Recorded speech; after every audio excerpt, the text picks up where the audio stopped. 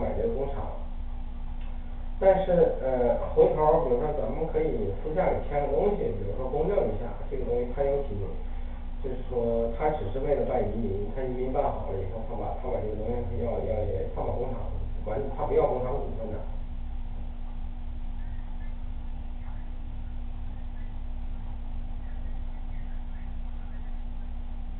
对对对